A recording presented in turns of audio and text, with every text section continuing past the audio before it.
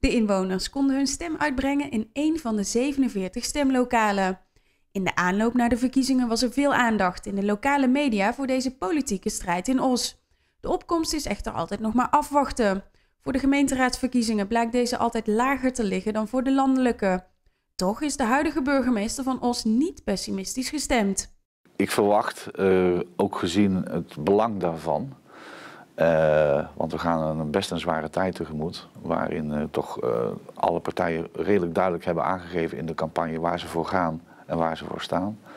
Dat het heel veel Ossenaren toch, en Littenaren nu moet ik zeggen, toch wel uitdaagt om een stem uit te brengen om mee te helpen richting kiezen aan welke kant het op moet gaan. Dus ik verwacht toch wel een, een bovengemiddelde opkomst. In de dorpen is de opkomst vaak wat hoger dan in de steden. De burgemeester van Lid verwacht het volgende. Ik weet niet hoe de opkomst in Os is. Ik weet dat uh, in Lid men over het algemeen best wel uh, naar de stembureaus gaat. En best wel kans dat er heel veel mensen uit Lid naar de stembureaus gaan. Gewoon om echt de Lidse stem te laten horen. Er staan veel Lidse raadsleden op de lijsten in Os.